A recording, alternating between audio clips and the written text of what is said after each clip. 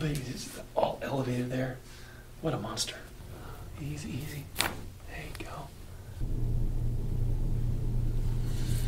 When there's an arch in my spine, the joints, like a handshake, are overlapping. There's a lot of strength in that.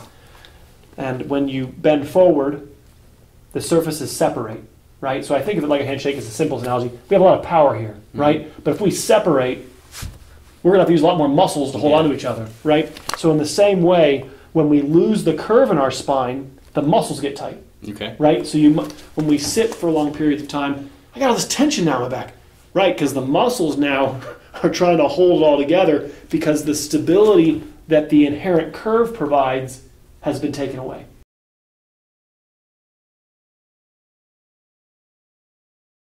Lower back pain, main symptom, been going on for a little over three years. Yeah, I, I'm one of those ever since COVID, Gotcha. folks. You know, did a lot of sitting, um, my fair share of movie marathons and video Mm. games and Hmm, Video games and movies. I board I games. Like this guy already. All right. It's mostly lower back. It doesn't typically go down the legs, with the exception of my right leg. On occasion, my uh, my right big toe and my heel they'll swell up and they'll be in pain. And then not sure what it's called, but the second toe from the big toe Understood. Yes, yes. that'll be in a lot of pain. And that was uh, one of the focuses of my previous chiropractor. Okay. Was and they took just X-rays of you? Did they take any MRIs or did they? I have X-rays? some X-rays, but of very recently, actually, a week before Uh-huh. my last visit, Okay. and I have those on my phone. But no MRIs. No MRIs. Okay. No MRIs. I had a patient that was here just before you, and he had X-rays and MRIs, and I got to illustrate pretty clearly how X-rays can miss because we can't see the cartilage on X-ray, and so when we're young, especially you know before 50, really, the discs are made of water, and when the water extrudes out and we don't have a lot of disc height loss, the X-ray might look good. You know, the height of the discs don't look that compressed yet. There's not big bone spurring that makes things obvious when you're 55, 60, 65. And so that symptom is a disc hitting a nerve, that 100%. There's nothing, you know, if we took an MRI of your lower back, we could see it. The x-ray is not going to show it. So we're left with, well, who knows what's causing it, right? But it's, uh, this area specifically is caused by, is really, is the L5 nerve. So Okay. there's one nerve that goes to your big toe and a little bit of your second toe. This area is one nerve. So it'd be the L5 nerve in your lower back is the one that I would suspect is being hit. We could, again, the only way to see it is with an MRI. The lower back is the joint. So what that is the knuckles. You have where you're supposed to have a curve in your lumbar. This is what you told me, Ed. I started sitting a lot. Yeah. Sitting takes the curve out of your back. And so when the back goes straight all the way like a ladder, mechanically ends right at lumbar five. And we have these little knuckles where the vertebrae connect with the adjacent vertebrae. And it's spraining. You're essentially, the, the joint is inflamed. The joint strength comes from how well it overlaps. And that's part of what the curve does. If you can see when there's an, when there's an arch in my spine, the joints, like a handshake, are overlapping. There's a lot of strength in that. And when you bend forward, the surfaces separate, right? So I think of it like a handshake is the simplest analogy. We have a lot of power here, mm-hmm. right? But if we separate, we're going to have to use a lot more muscles to hold Yeah. on to each other, right? So in the same way, when we lose the curve in our spine, the muscles get tight, Okay. right? So you, when we sit for long periods of time, I got all this tension now in my back, right? Because the muscles now are trying to hold it all together because the stability that the inherent curve provides has been taken away. So, I think I took a passport photo uh huh. probably two years ago when I Uh-huh. first noticed it. Yeah. I haven't seen a good chiropractor in a while, and I'm not stretching as much as So it's it's not it's really a head tilt. Okay. What it is is that you have an injury on the left side of your neck, made your head tilt to the right. If you walk around with your head tilted, it makes you dizzy. Do you understand? hmm So this is what I'm seeing. Your right shoulder's elevated, but it's not a shoulder problem. It's a neck problem. You got a neck. Your left side of your neck is um, in avoidance. Right hip is high. You know, so your body's again the symptoms are down your right leg. So your body's elevated your left hip. Because I showed you on that model. Remember the whole Yeah. changes inside if I tilt. So your body's doing this, and then this gets really stupid real quick. Oh, my left leg's short, right? And so somebody wants to put a heel lift in your left shoe. You understand? Or a chiropractor wants to take your left hip and push it back down. Then, we, run, then we run to the nerve again, right? So the body did not elevate your hip unintelligently. It did it because you're pinching something. Do you understand? And you're going into avoidance. How do I get my hips level, Ed? We get rid of the reason for why it happens. The reason why this got inflamed over here that made your hip elevate was because this was stiff up here that can cause this to be abused, right? So we loosen this up. That takes the stress off your lower back. This is no longer injured. The hip will automatically come back down and level. We don't force it back down. It's commonly done because it seems simple. Hip high, hip down. shoulder high, shoulder. It's it. You get rid of the reason for why it exists. We're gonna leave that lower back alone. Leave lower neck alone. Take a deep breath in. Head back for me. Let all the air out. Deep breath in for me. Head back for me. Exhale. Deep breath in for me. I got you. One more. Exhale. Let it go. All right, good. All right. Reluctant. Moved. Aren't you happy yet? Well, kind of. right? It moved, but I had to put a lot of force in. There should be an effortlessness to the mobility in there. Okay. Perfect. Take a deep breath in for me. Just relax. Exhale. Uh-huh, I got you. Uh-huh, exhale. Okay. Okay, good. Other side for me. Good. Exhale. All right, good. All right, good. Face up for me. Hello.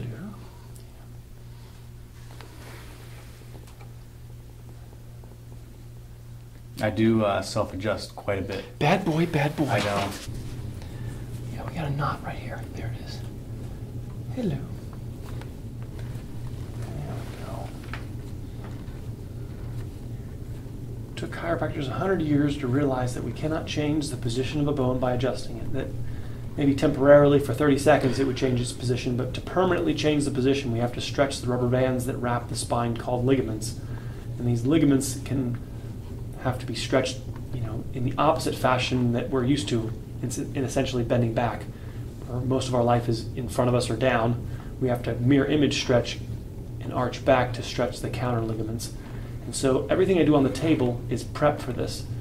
Uh, is prep for the you know final 10, 15 minutes with me. I'm going to arch you back and I'll show you how to do stuff at home to reestablish the correct alignment. If we're in the right alignment, the weight of our spine is going to be evenly distributed and not just one area being overstressed. Your lower back, your lower neck. You know, these are the typical areas that are the, at the forefront of being injured. Okay. And if you want me to be quiet, it costs double. Uh, it's discounted if you let me talk. Okay, so and it'll be a much more peaceful visit if you just shut up. Uh-huh. No, no, it's. Uh, Well, for some, I'm maybe. teasing. I'm teasing. I'm teasing. I'm That's that's actually something that I appreciate I- about you. I'm glad to hear. I'm glad to hear. Because some of the comments, sometimes my wife's like, "This person was so mean." This is really-" There we go. I uh, I teach dance, Uh, okay. and um, you know I I love to teach the why, and that's something that I admire about what makes you unique. Uh-huh. You like to teach the why. The why exactly. Yeah. It's usually the hardest question to answer. We can figure out the how and the what, and the why, the purpose. That's why I love physiology more than anatomy, right? Because anatomy just tells you all the structures, right? It shows you all, all of why it's all of what's there, right? Physiology is the why, how it works, its purpose, what it, how they interact with each other, right? The connections, the function of the of the organs in the body. Is, uh, I had way more fun in physiology than anatomy. you have to get your head over to the left. Right there. Feels lovely. Yes, feels lovely. Oh, delightful, Ed. Yes. All right. Comes up real quick. I find the soft tissue work expedites and speeds up this process of making the spine supple so that we can utilize the stretching to create a permanent change. And not to say that I don't wish it were true that I could just adjust you and send you on your way. There's just no research to prove that that will actually do anything permanently. That the only way to change someone's posture permanently is through counter stretching. So um, part of the, uh, as I said before, the heartbreak of leaving San Diego, Dr. Sam's fiance Dr. Jacqueline had an office right across the hall from him, Cool. and uh, she's an acupuncturist. Cool. So I experienced gua sha cupping, Wonderful. acupuncture with her.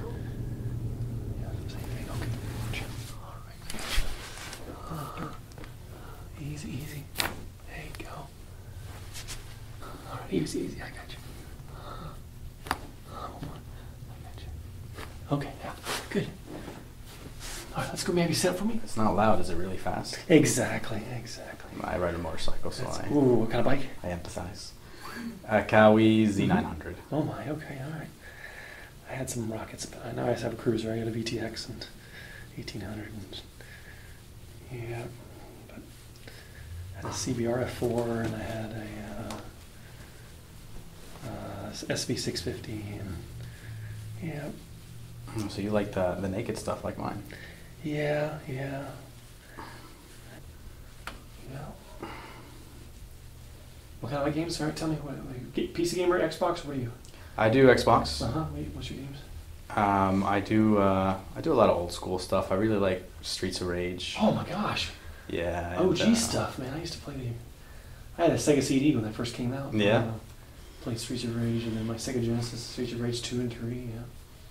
Then I have my uh, my FPS. I like uh, Apex Legends. Okay. That. Yeah, yeah, okay. Haven't played it, but I- I'm aware of it. Yeah. Not a Call of Duty guy. Good. Okay. Yeah. Yeah, not my thing. Okay. Um, I always make fun. My brother's a P, uh, console gamer, not a PC gamer. I like the mouse and keyboard, Counter Strike. Okay. You know, I used to have LAN parties in my garage with my friends. Oh man, you were the cool kid. Before high speed internet, that was the only way to Yeah. have your low ping. That's all you could do. So you play Arma, uh, Escape from Tarkov, or are you more of like a No, I don't. League I, of Legends? I no, I know League of Legends. Ugh. No, I, I now I play uh, stuff like Diablo two or you know more. I don't Okay. play. I still I, what I play? FPSs. I still like old Quake stuff. Old Quake and uh, Counter Strike. That's respect. This is all elevated right here. This needs to go down. The thoracic cage is becoming what we call hyperkyphotic. So when we lose the curve in our neck, it has to go somewhere else.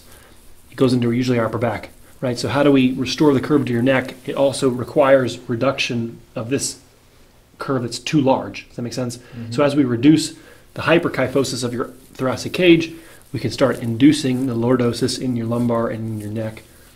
And that's how we, again, balance the, the weight over all the vertebrae in the spine. There we go. First visit's me doing a song and dance and just getting used to somebody uh, beating you up and, and loosening everything up and getting it all moving. You know, for most people, I know you've been through some chiropractic care, but most of my patients have had well, zero, you know, care before me, or at the very least deep tissue work and you know soft tissue work, and so it's like a foundation that nobody. I'm starting at scratch. I'm starting at dirt and building a, a building, and you know it's. When we're dealing with posture, it's a it's a it's a story. It's a journey.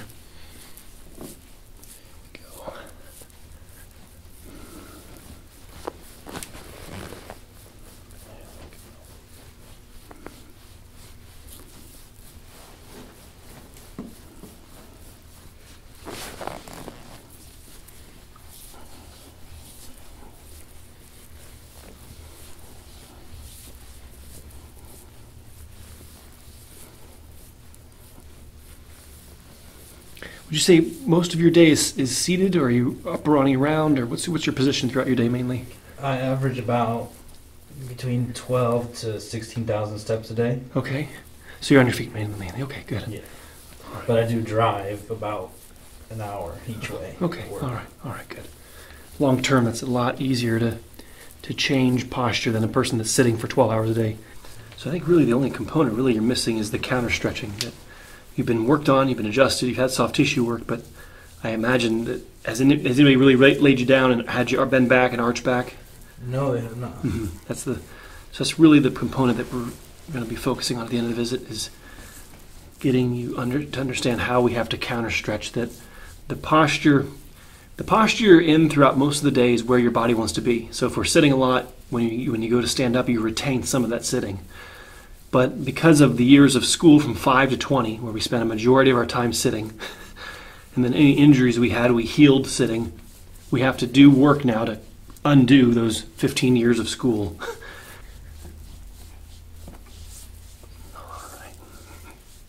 I stretch my hips out a lot, but I haven't done much from my upper back or shoulders in a while.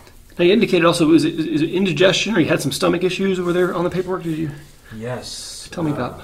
I'm not exactly sure what the cause is, but Well, it's, it's, it's from it's your back. so the nerves that go to your stomach come from here. okay. And so the same areas that have all this inflammation, which we'll show you in a second when I go show you, are the nerves that go to your organs. And so it's it leads me to the understand the conversation that your spinal health is your health. That that the spinal column is the conduit with which your brain communicates to every organ.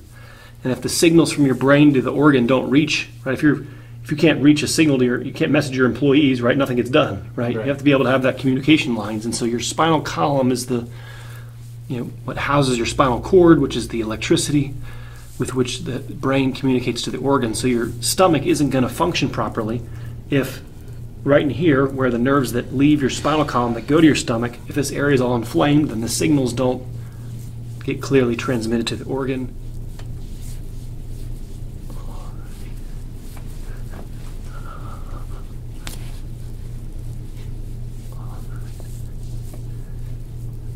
Right here is where it gets real stiff. This one right here is the most primary area that overstresses your lower back, and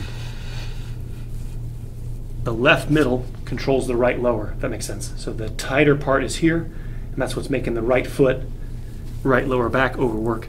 It's your left middle that's locked. Feel the difference from that to this? This side's Yep. more smooth, and then you got this blockade right here. Middle back, left blockade. Oh, what a lovely blockade. Ooh. Yeah. Yeah, that's it's all crunchy right there.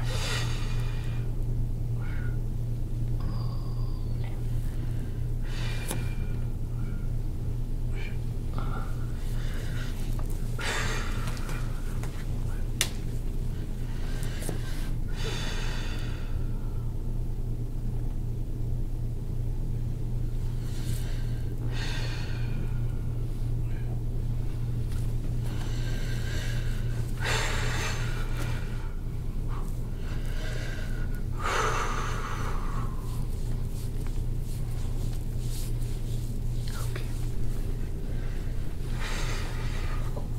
Uh oh, yeah. These are the roots of your neck here. These all have to go kind of down.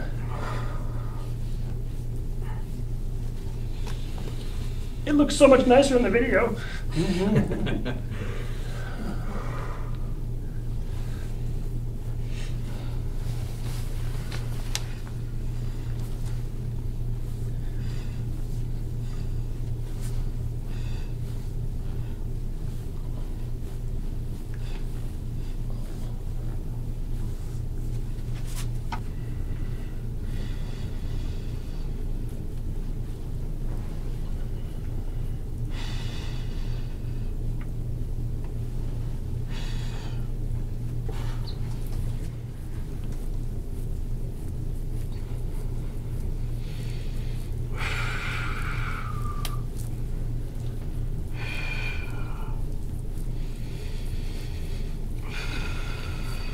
There we go.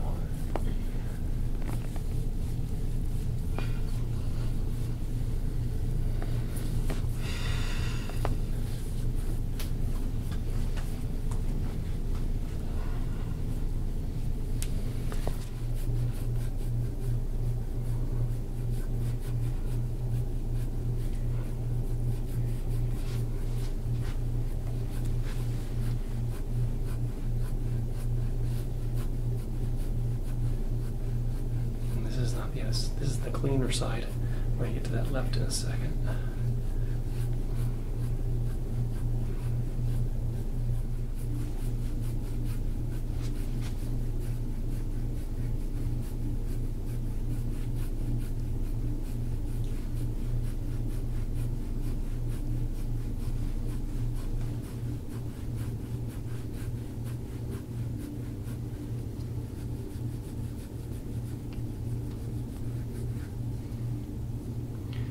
Yeah, this this whole. Like if, if you soccer or something, something collided with you here, right? Uh, I did play soccer. I'm saying th- these ribs are not. This right here is like flush, and then I got a collision. Like I feel like something hit here, and then Ah, I see what you mean. something happened. but you then tilted to the right to get away from. The, the bomb went off right here. you know, counter terrorists win. You know, the bomb has been planted right there. You can actually see it. That's, there was a trauma there. It wasn't so much the. It's a little bit here on the vertebrae, but as I go out here lateral to the rib heads, it gets even larger. So to me, the, the original force went like that, and then it hit this mainly, and then it did injure the vertebral joints, but the rib head joints were the most significantly injured. And then they tightened up, they got stiff, he tilted to the right, it went away, right? It- it- the body immobilized it and leaned away from it. I'm trying to think of what could have happened. Uh, I mean, I've had a couple of motorcycle accidents, but they've all been very low speed. Okay. This probably, to me, this happened teenage. This is before 26. The mark doesn't come out if there's nothing there. There has to be something underneath that I can draw out, Right. right? So there is a significant amount of mark coming out on this left side, which implies that, like, the longer the stain's been there, the more it doesn't want to leave. You know, the older the stain, the more scrubbing it requires to get it out of there. I mean, it's, this is all, this whole, it's like, no wonder, you understand, that's why it's your right leg. Do you understand? Mhm. This is just simply, you're, you're avoiding this, and the work, you do like 60 40, or at the very least, maybe 70 30. You favor standing on that right leg, you're, you're in right abuse, left avoidance. It's all elevated there. What a monster. There we go. Keep that forehand to forearm contact. All right, breathe in for me. Easy for me. Exhale. Easy. Good. Okay, all right, all right, easy, easy. Arms back down for me. Good, good, okay. Okay.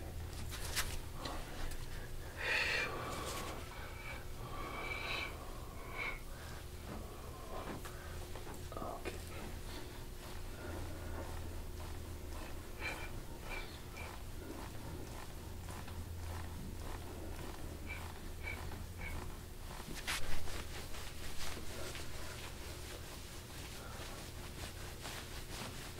Self cracker. Uh huh.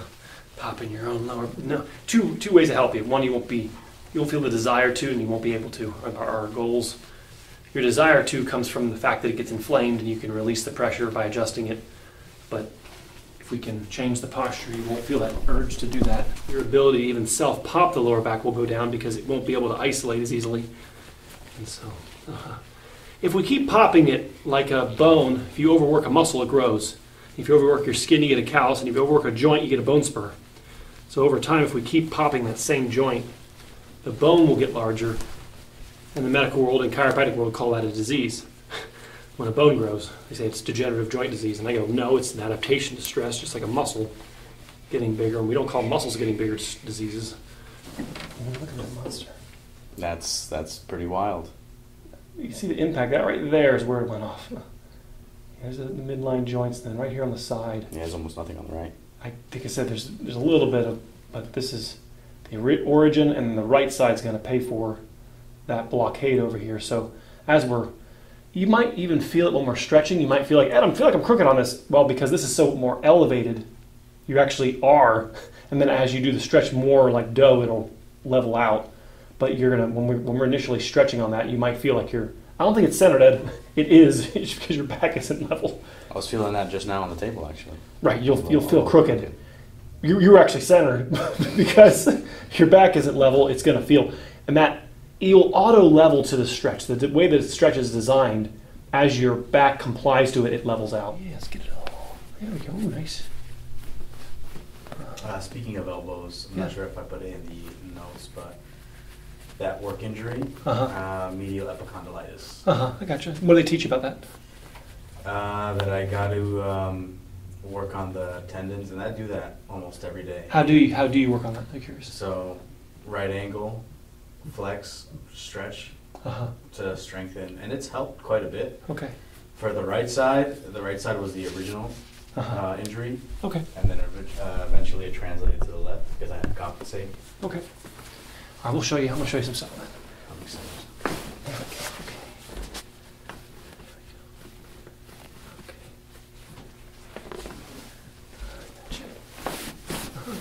Okay. The tendon dives through the bone.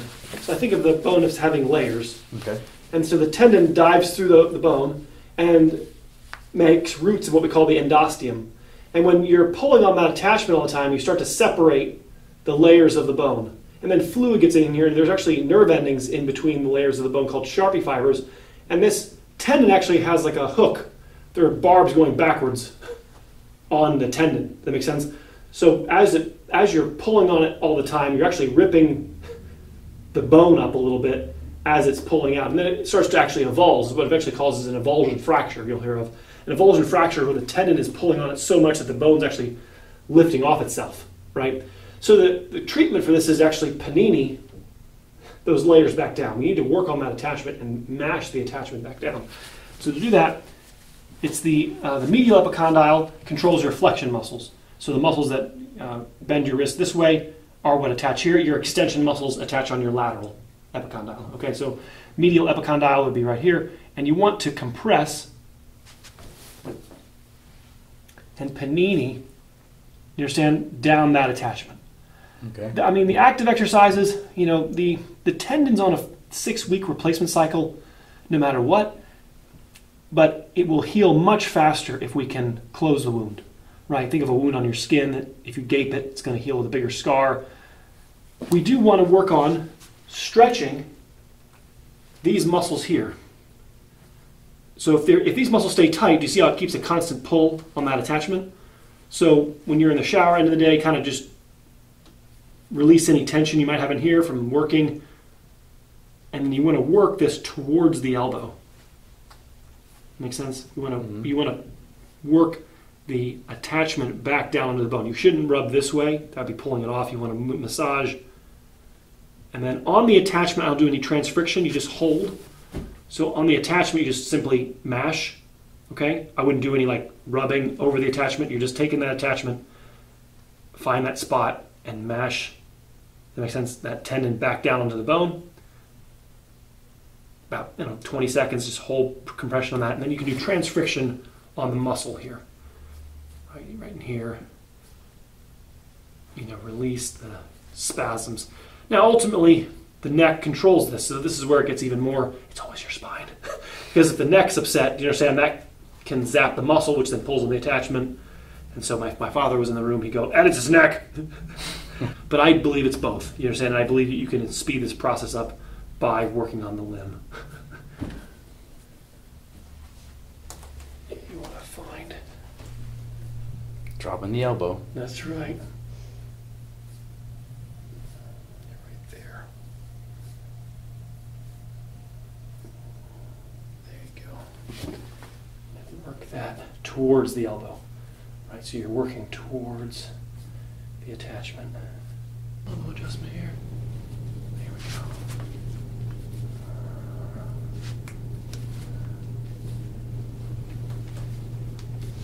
Okay.